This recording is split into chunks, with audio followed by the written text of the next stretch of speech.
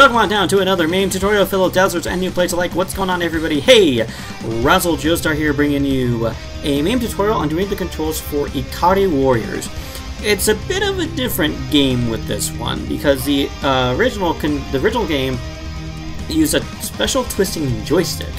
You could move it around like normal and then you can also twist it to kind of turn your character and change the way that they are firing. And this game is in fact not a twin stick shooter. It does not use two sticks.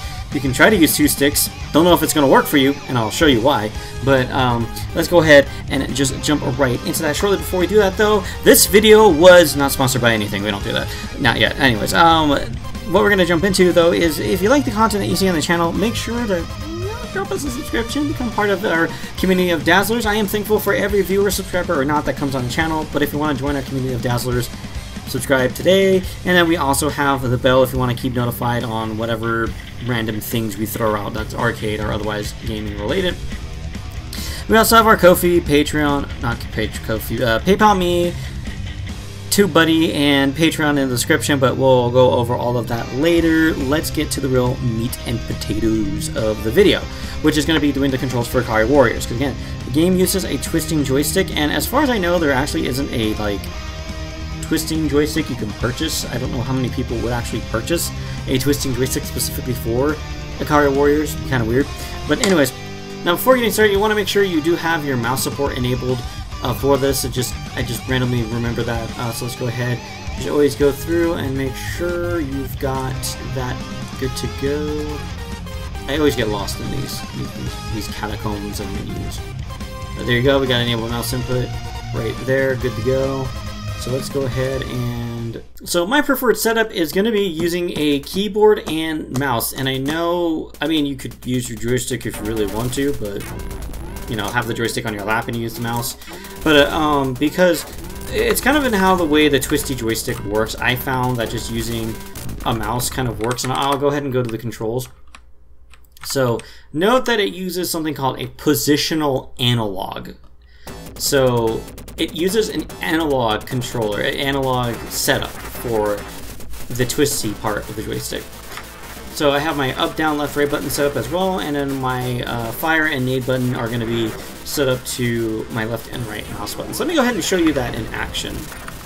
And of course, uh, for, for anything that's like this, this is just going to be like any other kind of analog control you set. You just move your mouse like that to the you know to the right or to the left, and it'll register that.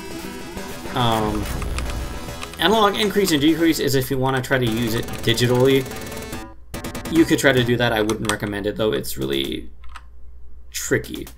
So let me uh, go ahead and get this going. I'll show you the game in action uh, with the keyboard and mouse setup I have.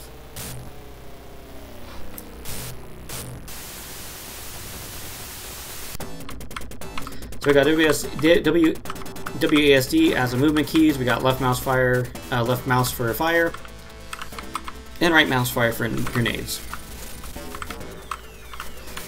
One thing you're going to want to do too, if you're setting this up for the first time, is you want to go into your sensitivity settings and kind of getting into this, sorry. I'm going to go to sensitivity settings and make sure you've got this fine-tuned uh, to a sensitivity you like. So I'll go ahead and show you that here in a second. So let's go pause the game. So that's going to excuse you what are you what are you doing?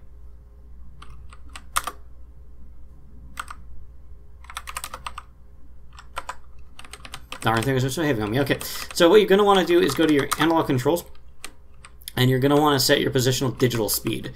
Um, I don't... Oh, I was going to say I don't remember what the default was, but...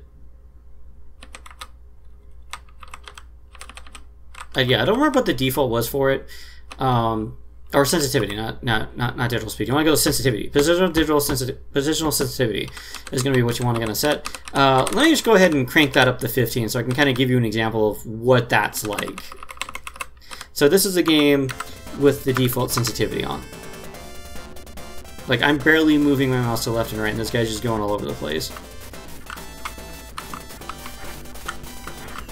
So I changed mine all the way down to like one. So it's just easier to get that turn. And that all I'm doing is moving the mouse to the left and to the right. I mean, who knows? Some people may like a bigger sensitivity, you know? It's like with FPS games. Some people just like to twitch around faster than other people, and there is nothing wrong with that.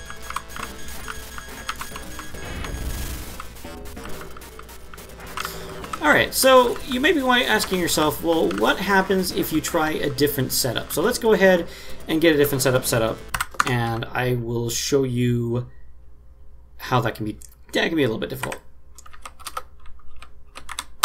Alright, so we got the game going here, and I have reset my positional uh, analog. Let me let me go ahead and show you what I've got set up here. So we got positional analog increase set to the keyboard right, keyboard left, and then we've got button one as up and down, button one is up, and button two is down. I mean, notice how there's like a bit of a lag, like right, like I'll let you know, like down, released, down, released. There's that. There's just that. There's that delay.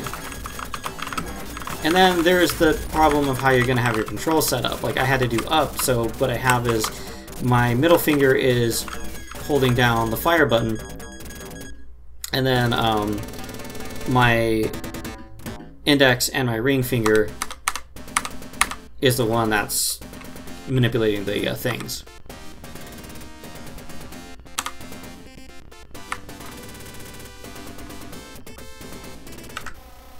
Oh, I forgot there's a there's a way to getting that going. But I mean, you may be asking yourself, well, okay, Razzle, you can go into the analog controls and change them, right? Okay, yeah, we can set the digital speed. Like here it is on 20. Now there's not much of a delay here with this, but it's still I, I still like I prefer using the mouse though. Because I just feel like I have a bit more control over that and having both fingers on the uh, on the shoot and nade button really like it just makes it better because like I can turn and then throw nade and shoot at the same time. It's just it's just a, it's just more of an easier setup for me. I feel like because like here if I want to nade or something like that, I have to take my finger off something unless I want to have some like weird thing where like my fingers are all like all over the pad or whatever. So I do have my uh, joystick set up here. I'm mean, not joystick. Um, I do have a gamepad here, my handy dandy Afterglow Xbox One controller. So let me go ahead and set that up and I'll show you what that's like as well. So we've got our stick set up here, or not my stick, um, I've got my Xbox One controller set up here. So we have it to where the left thumbstick is the movement button, and then the right thumbstick kind of just moves him, kind of like rotates him. If you've ever played Doom on like consoles or on like the Xbox like 360 or whatever, it's they kind of do a similar setup where it's like the left stick is to strafe and the right stick is to uh, turn. And then we've got left trigger as our fire button, right trigger to nade. So this is actually, if you're if you're not wanting to use a keyboard and mouse, this would be the setup I would recommend.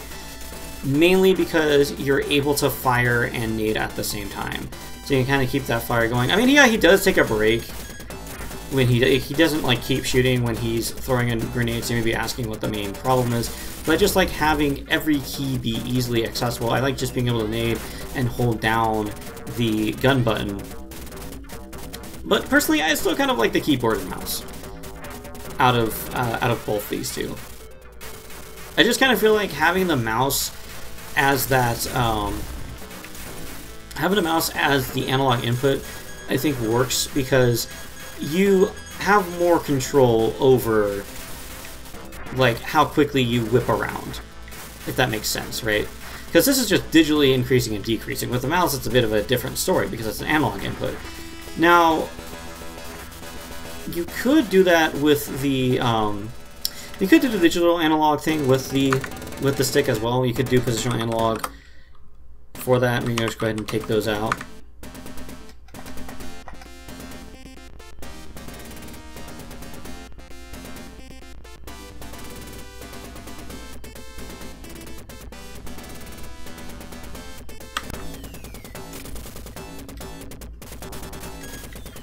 Now, if you're trying to do the analog with the stick, you'll find there's a problem.